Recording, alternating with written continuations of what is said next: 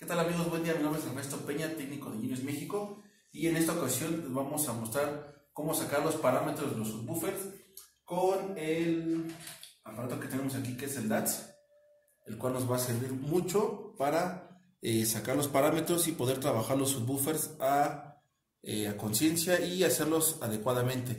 Eh, obviamente en otras marcas no, no te dan los parámetros o no tienen eh, esos datos, entonces en Genius sí los tenemos, aparte de que nosotros les damos el soporte y les damos la asesoría para que puedan sacar el provecho a todos los subwoofers de nuestras líneas. En esta ocasión, bueno, como les comenté, el DAX, aquí está, va conectado a, una computadora, una PC, una laptop, lo que tengan, y eh, les puede dar los parámetros y, como les decía, descargarlos en un software, un programa, para que puedan este, sacar el provecho del subwoofer. Vamos a hacer el procedimiento de cómo usarlo desde ceros. Vamos a cerrar aquí el programa. Lo abrimos. Y el primer procedimiento es ajustar el aparato. Primero vamos a hacer un cortocircuito entre él. No se espante, no es que vaya a sacar chispas, solamente es para que haga una lectura. Nos vamos aquí, desde calibración. Aquí nos dice que estamos listos. Le decimos que sí. Y en esta parte de aquí va a cambiar la resistencia. Ok, ya cambió. Listo. Después, con la resistencia de calibración que viene incluida en su, en su aparato que es el DATS, se va a colocar aquí vamos a ayudarnos de una pinza porque se nos dañó. Listo. Esta posición debe ser lo más parecida de un extremo a otro. Ajá, listo, aquí está. Vamos otra vez aquí a los parámetros. Impedancia de calibración, restaurar de fábrica. Entramos otra vez y le damos OK. Aquí va a cambiar la impedancia a un, a un kilo 999 ohms más o menos. Listo, ahí está, ya está calibrado. Entonces ya lo podemos usar para poder sacar los parámetros.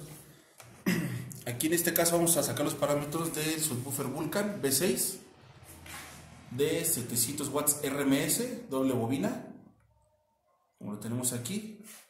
Aquí ya tenemos los cables listos para conectarlos. Vamos a girar un poco para que lo vean. Vamos a conectar las bobinas en paralelo. Si van a hacer la configuración en paralelo o en serie, depende de lo que vayan a hacer ustedes. Y vamos a conectar el aparato.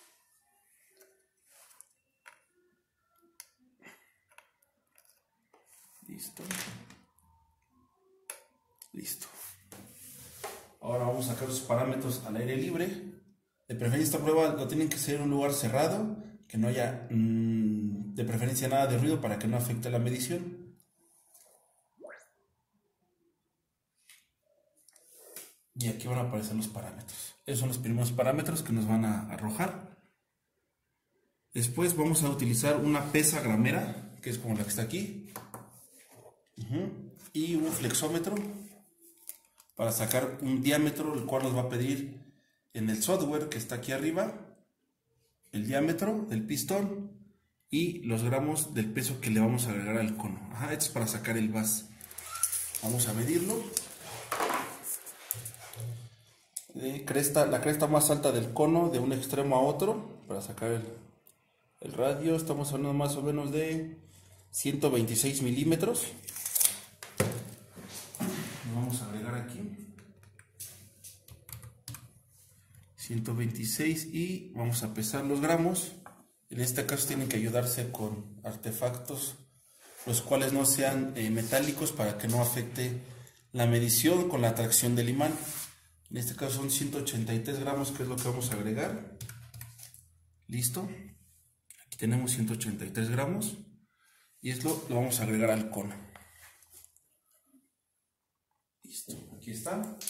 Ahora vamos a sacar los siguientes parámetros del VAS. Aquí nos comenta el programa que estamos listos, tenemos que sí.